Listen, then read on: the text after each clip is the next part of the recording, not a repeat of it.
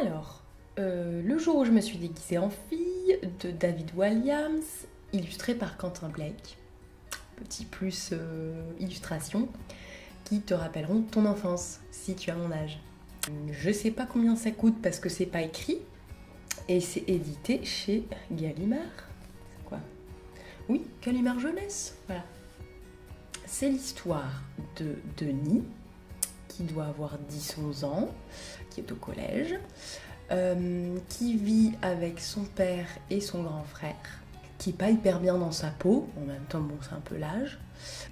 Tout le monde déprime un peu dans la maison, l'ambiance est pas top parce que la maman est partie. On sait pas pourquoi et on sait pas pourquoi il la voit plus, mais en tout cas elle s'est barrée. Le père veut plus en entendre parler, il a brûlé toutes les photos, le grand frère, euh, voilà. Enfin bon, ils sont un peu euh, bourrus et renfrognés, on va dire, les, deux autres. Donc voilà, c'est un- une maison où on n'a pas trop le droit de montrer ses sentiments, sa tristesse, euh, ses émotions et tout. Donc Denis, ambiance pas top pour lui à la maison. Pour bien faire, son frère et son père sont toujours en train de se moquer un peu de lui, ou en tout cas de lui reprocher d'être fragile, euh, voilà, il est en manque de tendresse quand même, cet enfant, enfin ce, je- ce jeune ado. Euh, voilà, sa mère lui manque. Alors, elle manque aux deux autres aussi, hein, mais ils vont pas le montrer de la même façon. Bref. Du coup, euh, voilà, ils sont toujours un peu en train de lui reprocher d'être comme les filles et de s'intéresser à des trucs de filles. Parce qu'il va regarder des émissions euh, dites féminines ou s'intéresser à des choses. euh, bref. Heureusement, Denis euh, est très fort en foot. Et c'est le seul truc qui va rapprocher en fait les trois. Et bon, bah, ça tombe bien. Denis, c'est le meilleur joueur du collège, enfin de l'équipe du collège. Donc on- ils ont au moins ça quand même qui les, qui les soude, on va dire. Mais voilà, c'est un peu tout quoi. Donc heureusement, euh, Denis a ses potes euh, au collège, enfin au moins un pote ou deux au collège. Et il va faire la connaissance d'une autre, enfin il va se faire une autre amie, Lisa, euh, avec laquelle euh, il va pouvoir partager une autre de ses passions, à savoir la mode.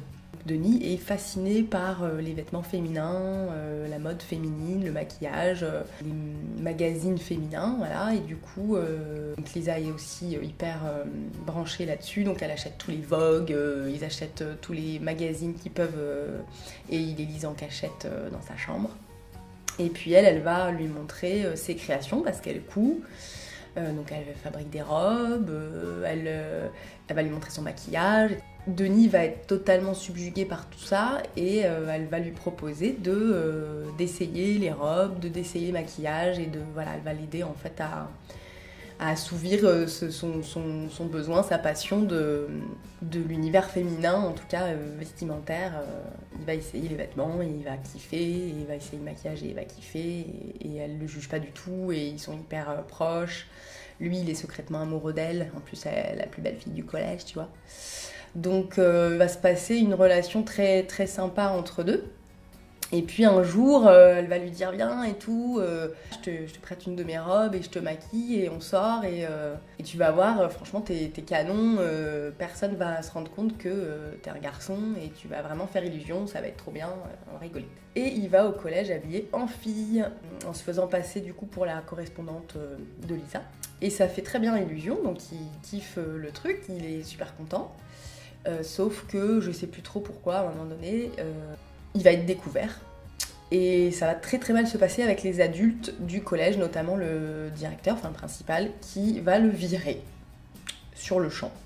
Et bien sûr, euh, bah, il, va, avoir du mal à assumer euh, auprès de son père et de son frère. Donc euh, il va passer un sale quart d'heure hein, pendant quelques jours, quelques semaines exclu du collège. Donc il voit plus ses potes, son père lui parle plus, enfin voilà, le comprend pas. Il dit, pourquoi tu fais ça? T'es homo Voilà, bon. Je vous passe la suite, hein. ça va quand même bien finir. C'est un petit bouquin voilà, pour, euh, pour pré-ado, ado, euh, hyper intéressant qui va aborder du coup ces thématiques-là. Le seul truc que j'ai moyennement aimé, c'est que la mère est absente et qu'elle lui manque et que voilà, et tout ce qui représente euh, la féminité n'est plus dans son quotidien. Donc on aurait vite fait de penser que c'est pour ça qu'il aime s'habiller en fille.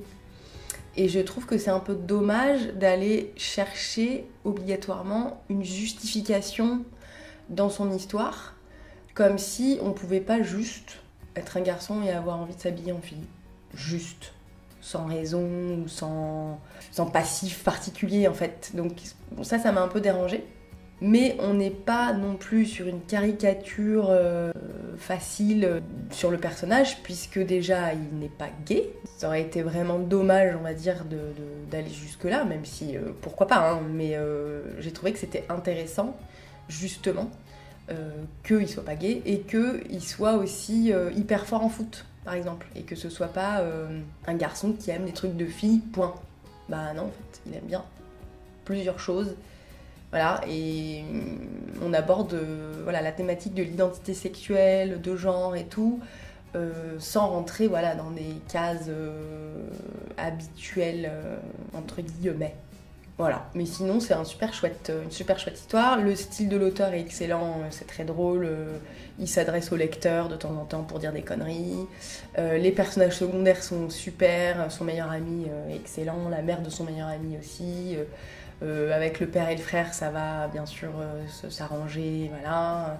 Lisa est top aussi, sa petite copine. Et, euh, voilà, donc une, histoire vraiment sympathique que tu peux emprunter à ta bibliothèque ou acheter à ta librairie préférée. Bisous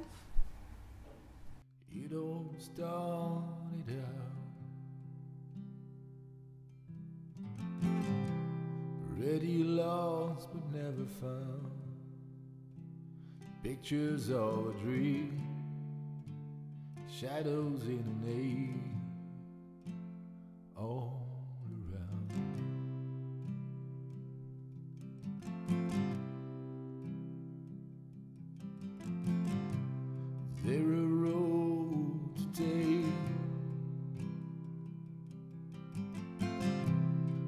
be chosen.